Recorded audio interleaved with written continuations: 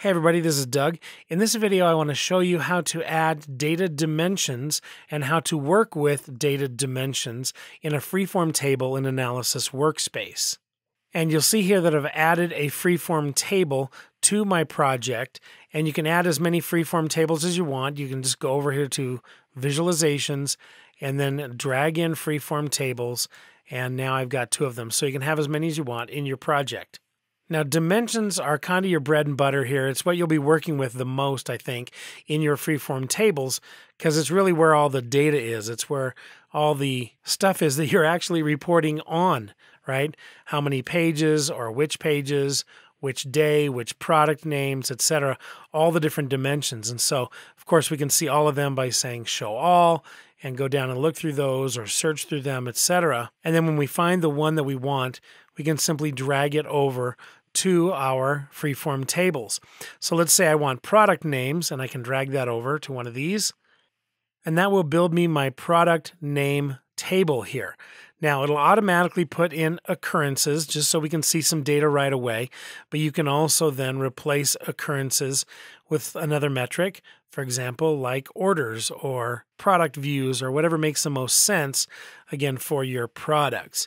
In this case, maybe we do like orders, and this will allow me to show you another cool thing, which is you can see these drop zones, these kind of hints as I go to add things around here and add this and drop it, it'll show me either a blue drop zone or it'll show me you can see kind of this orange one here. Now, blue means, yeah, that's a good idea. That's a normal thing to do. And so, for example, I can add this as a metric and that'll create another column. Or if I don't really need occurrences, I can also then bring this over a little bit until it says replace and I'll drop that in here. Now, as I am dragging these different dimensions or metrics or segments or whatever into my table, I might also see kind of an orange one. And if I try to put a dimension, for example, up here where usually a metric goes, it's going to say, well, I'll let you do that, but it doesn't really make sense. And that's the orange color, kind of a warning. And so in this case, with another dimension, it makes more sense to either replace this dimension or to break down these dimension items by this other dimension. And I'll do that a little bit more in a second, but I want to first show you some other things that we can see on here.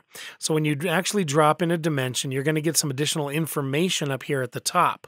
You'll see that this is page one of four. So I do have a total of 168 product names here that belong in this report, and I'm showing 50 at a time. You can see that by scrolling down. Anyway, you can show more or less than that if you'd like by selecting that and choosing a different number per page of product names here. And you can go even right to one of them. So if you want to go to right to page four to see the very last few, then you can see that as well.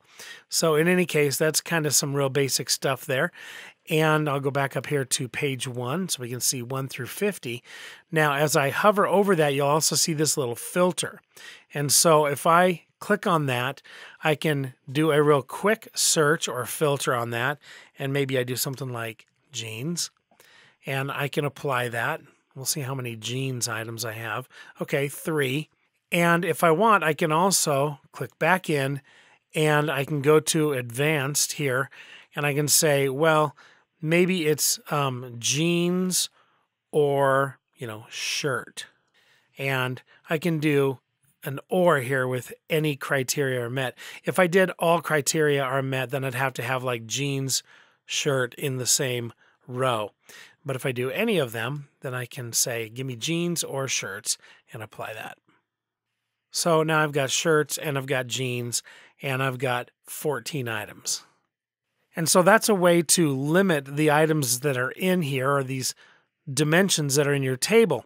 Now, another way to do that is to actually go to the page or product name items or whatever kind of items you want by clicking on this right arrow.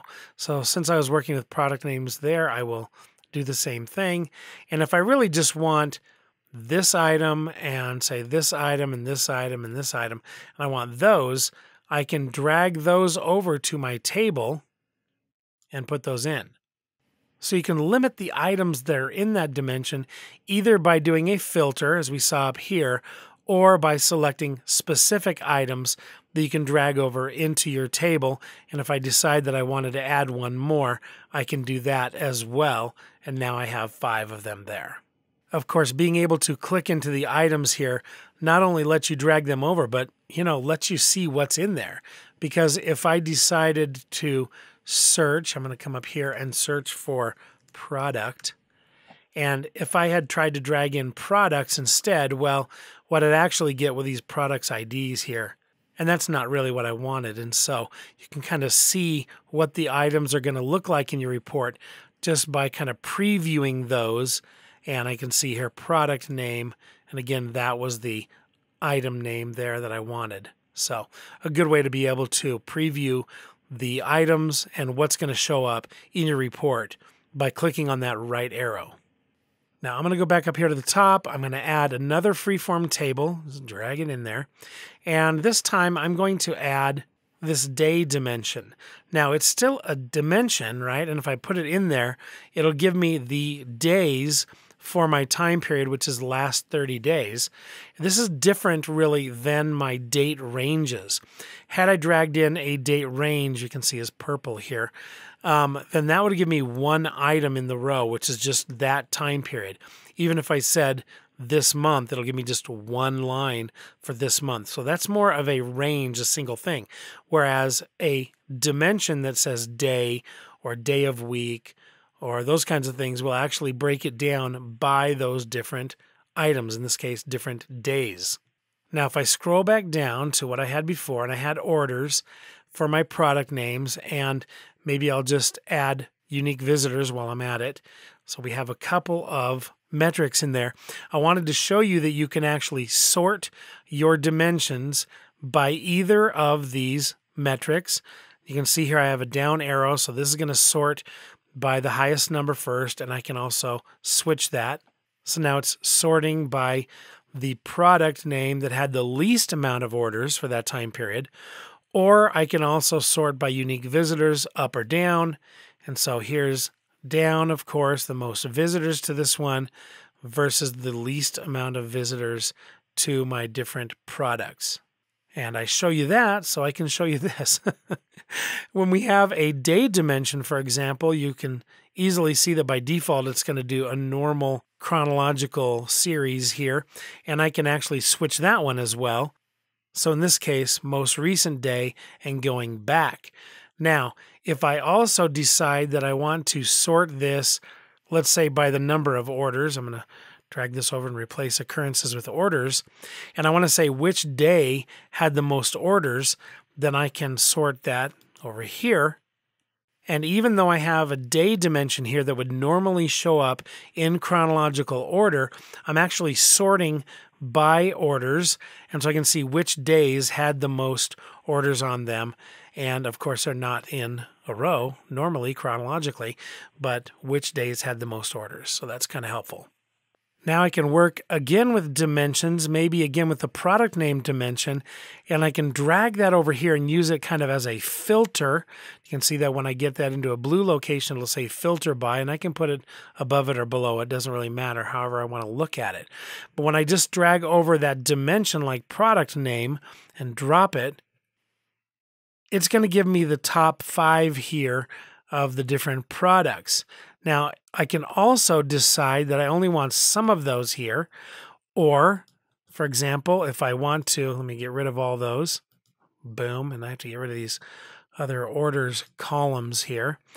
This is not going to automatically take those out. Okay, so now I can also go to product name and I can select a specific one and maybe bring this romper over here and use it as a filter as well and drop it in there. And now I can see on these days for orders for this winter flannel romper, you know, again, how many orders I had on those different days. And so you can drag in these dimensions and basically use them as filters over here in a column. That one's actually very helpful. I think you'll use that all the time. Now, another thing you'll do all the time, let me scroll down and I will get back down here to my product name. And that is you're going to do breakdowns all the time, right? So you can do breakdowns out of the left rail. So, for example, I can drag campaign delivery method over to, say, this top one and break it down by that.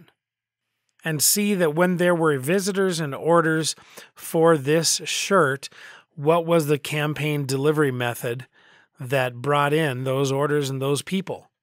And this is just demo data. I see that I've got some unspecified here that I would need to work on, but maybe it's unknown. And so in any case, you can see how we break down items there. Now, if I get rid of that, you can also multi-select. Maybe I'll grab the top five, and I can also do the same thing and just drop it anywhere on those five, and that will break it down by each of those.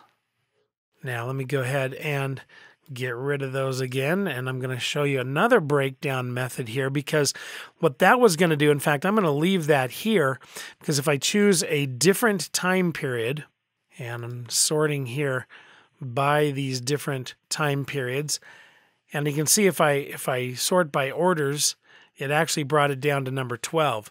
If I sort by unique visitors, then it's on number 14. So that breakdown was staying with the item here.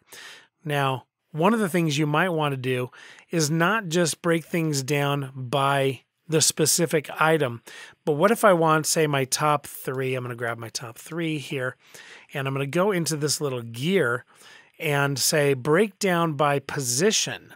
And so if I click on that and then I drag over campaign delivery method again to my top three and break that down. And then let's say I go up here and change my date. So I'll change last 30 days to just a specific day and we'll see if we can get different items.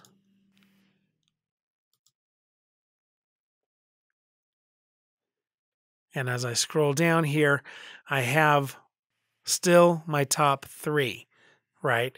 And so, regardless of which ones those are, because I went in and selected breakdown by position, even if I select the different sort, like orders here, instead of the individual products, then I can get the top three no matter what.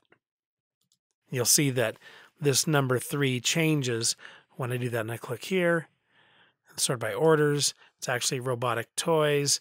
And if I sort by unique visitors, then that says gold chain print t-shirt. So in any case, that's another way to break these down is by position. So just decide if you want to break it down by position and say always show me the top, you know, 3 or 5 or whatever or if you want to break down a specific item then you deselect that and it will stick with the item.